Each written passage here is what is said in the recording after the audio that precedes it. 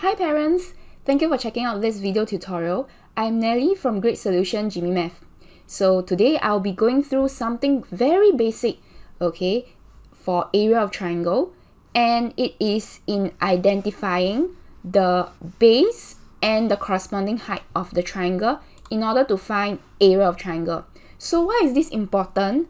Well, that is because this is the very basic thing that your child should know before solving any area of triangles questions. Okay? Without this ability to identify the base and the corresponding height of triangles, your child might not be able to solve all types of questions involving area of triangles. So without further ado, let me show you three types of triangles and how we can find out what is the base and what is the corresponding height of the triangle. So let's look at the first triangle. This is a very simple one and most students will be able to tell that this line below will be the base and the corresponding perpendicular height will simply be the line that is perpendicular to the base, meaning it is 90 degree to the base, and that this line must reach the opposite point of the triangle. Uh, this sharp point opposite is also called the vertex, okay? The opposite vertex of the triangle. Okay, let's look at another triangle that is a little bit more challenging. So here we have the base of the triangle, okay, over here. Okay, but unfortunately, we can't really draw the perpendicular line like just now where it can just reach the opposite point easily. So what happens here is that we got to extend the base. Okay, once extended, then we can connect the perpendicular height okay, towards the opposite vertex. Okay, and then you can also see that this is 90 degree this height here is 90 degree to the base. Okay, so here we have got the height. Okay, and this is the height just now. So let's look at the last example. Here we have the base. and the height, it is simply this line here. Okay, the line that connects the opposite vertex and it reached the base at this angle that is 90 degree. Okay, let's now look at some of the past year papers. Here we have got Methodist Girls P5 last year's SA2 question. So the question is asking for the height of triangle ABC. Some students might not read the question at all and go ahead to choose CD to be the answer, to be the height of the triangle because, well, why not, right? It can be the height of the triangle. But the thing is, we got to read the question, okay? I always encourage my students to read the question. Okay, it's a very simple thing to do, yet uh, it can be mislooked. Okay, just because the student want to quickly finish answering the question, but we got to read the question. Otherwise, it's very easy to commit this kind of mistake. Okay, because BC is the base, AB is not the base, so CD cannot be the height, right? Okay, so to avoid missing out on simple marks like this, do read the question. This is what I'll tell my students, all right? So here, BC is the base, so we got to fix BC to be the base, okay? And we can see that this type of triangle, we got to extend the base in order to find the perpendicular height, okay?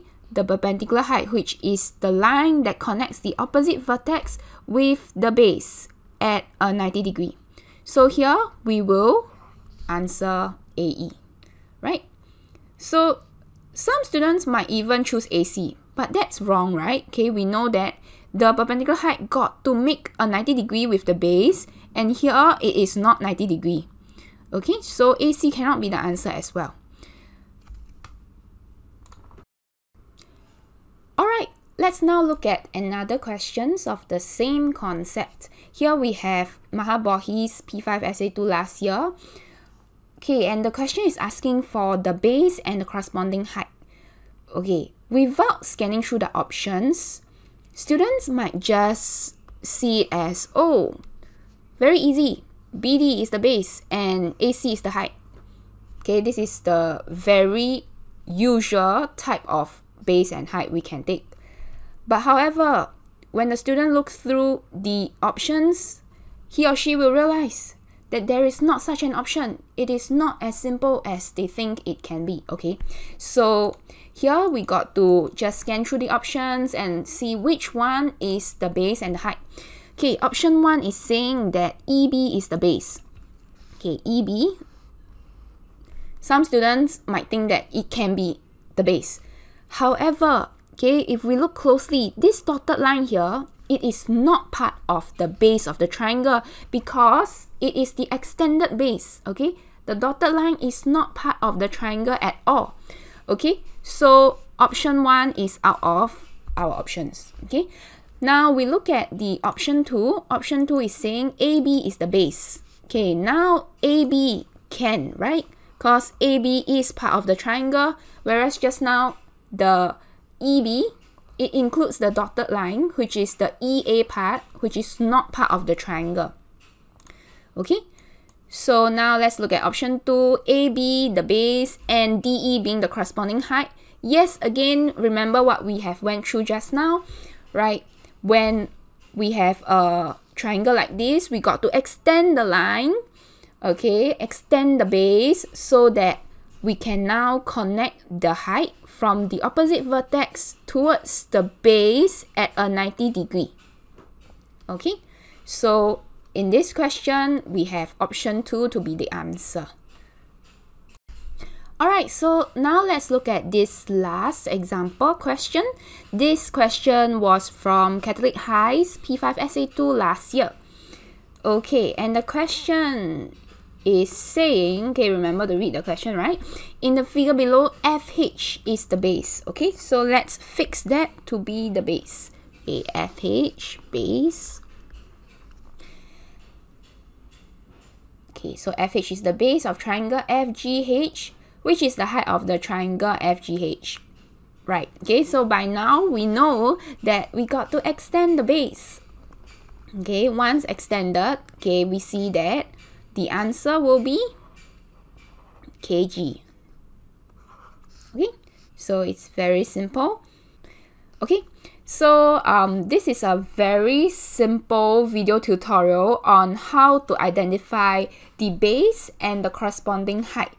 So I hope that this video clarifies and that now your child is able to solve um, the very basic type of area of triangle questions simply because your child is able to identify the base and the correct corresponding height. Yes, so this is a very important foundation before your child can go ahead to solve all kinds of area of triangles questions. Next video, I'll be showing you on how to solve tricky questions, okay, more complex area of triangles questions. So, so stay tuned and if you have any questions or any suggestions for upcoming videos, feel free to leave a comment below and do subscribe to the channel. Thank you!